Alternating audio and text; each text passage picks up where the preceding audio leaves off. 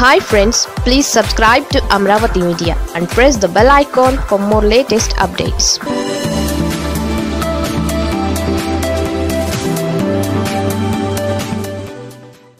చంద్రబాబుకు జై కొట్టి తర్వాత తమ్ముళ్ళు చేస్తున్న పని ఇది.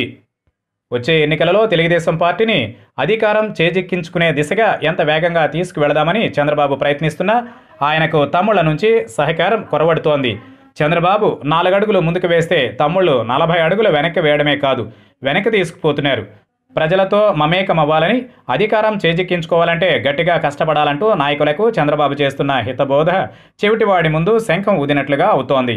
ఉమ్మడి అనంతపురం జిల్లాకు చెందిన పెనుకొండ మాజీ ఎమ్మెల్యే బీకే పార్థసారథి వ్యవహారం ఇప్పుడు వివాదాస్పదం అవుతోంది తాజాగా ఆయన చేసిన వ్యాఖ్యలు జిల్లాలోనే కాకుండా పార్టీలోనూ దుమారం రేపాయి.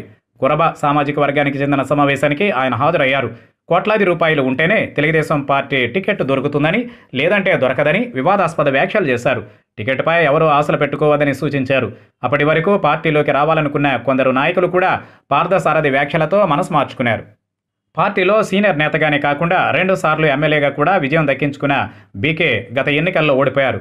అధినేత చంద్రబాబు దగ్గర కూడా ఆయనకు మంచి మార్కులే ఉన్నాయి. ఇటువంటి సమయంలో పార్టీకి ఉపయోగపడాల్సింది పోయి నష్టం చేకూర్చే వ్యాఖ్యలు చేస్తుండటంతో పార్టీ శ్రేణులు మండిపడుతున్నారు. ఉమ్మడి అనంతపురం జిల్లాలో ప్రతి నియోజకవర్గంలోనూ తెలుగుదేశం పార్టీ వివాదాల పుట్టగా మారింది. ఏ నియోజకవర్గానికి ఆ నియోజకవర్గంలో తెలుగు తమ్ముళ్ళు హోరాహోరీగా కొట్లాడుకుంటున్నారు. అధికారంలో ఉన్న పార్టీలో కూడా ఇంత పోరు లేదు. జేసీ సోదరులతో పాటు హనుమంతరాయ చౌదరి తదితరులు చేస్తున్న పనులు తెలుగుదేశం పార్టీకి ఏ విధంగానూ ఉపయోగపడలేకపోతున్నాయి. చంద్రబాబు జిల్లాల్లో పర్యటించినప్పుడు నియోజకవర్గ నాయకులు అప్రమత్తమవుతున్నారు. పర్యటన ముగిసిన తరువాత ఎవరి పనులు వారు చూసుకుంటున్నారు. పనితీరు మార్చుకొని ప్రజల్లోకి వెళ్ళాలని పార్టీని బలోపేతం చేయాలని అధి అధినేత చెబుతున్న మాటలను పెడచెవిని పెడుతున్నారు. ఇటువంటి వారందరికీ టికెట్లు ఇవ్వాలా వద్దా అనే చర్చ టీడీపీలో జరుగుతోంది. పనితీరు బాగోలేకపోతే టికెట్లు ఇచ్చేది లేదని చంద్రబాబు ఖరాఖండిగా చెప్పేస్తున్నారు. అయినా తెలుగు తమ్ముళ్ళు మాత్రం కుమ్మలాటలు మానుకోవడం లేదు. చివరకు చంద్రబాబు ఎటువంటి నిర్ణయం తీసుకుంటారో చూడాలి మరి.